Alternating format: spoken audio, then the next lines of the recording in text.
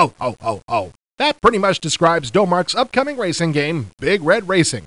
Forget finesse. Big Red Racing is an all out gonzo racing experience that will allow those folks who think racing on asphalt is for sissies. If you live by the code that you can't go fast enough, can't turn the music up too loud, and too much is never enough, Big Red Racing is made just for you. The graphics engine used in Big Red Racing is the same one used in Domark's very underrated Tank Commander. This engine doesn't try to make things look as realistic as possible, but it gives the environment a cartoonish look. This may have turned some folks off to Tank Commander, but it really adds a lot to Big Red Racing since the game itself sometimes feels like a cartoon.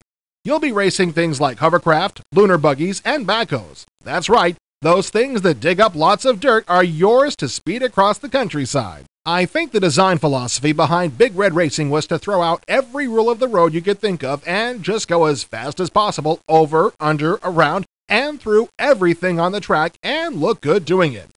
Keeping in line with the theme of the game, VGA is fine, but more is always better, right? Oh, oh, oh, oh. So Big Red Racing will be able to run in SVGA for those with the guts and the power to experience it.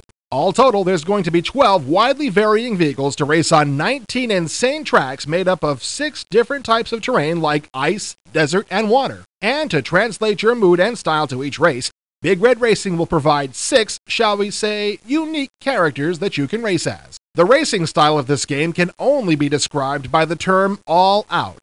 You'll fly through the air, almost certainly getting involved in or causing a few mid air collisions along the way. You'll skid around corners on as few wheels as possible, and you'll be bouncing off everything possible in an effort to get to the finish line first. And all this will be highlighted by play by play commentary and a CD audio quality soundtrack by the rock group Hangnail. Of course, you'll want to be able to watch every crash, flip, and otherwise destructive event, so Big Red Racing provides a ton of virtual camera views. Along with the normal first person view, you can watch the race from a number of trackside cameras, you can put yourself right in your opponent's front seat and just about any other viewing angle and position. But we all know that a game is always more fun when you can cause maximum damage and trouble to your close personal friends. So Big Red Racing is fully multiplayer compatible. You can play head to head with a friend over a modem, or you can take on everyone you know over a network. But if it's just you, a bud, and a computer, Big Red Racing can use a split screen for two racers on one computer. Big Red Racing forgets strategy, finesse, and all that other sissy stuff and gets right down to what makes racing really fun. Oh, oh, oh.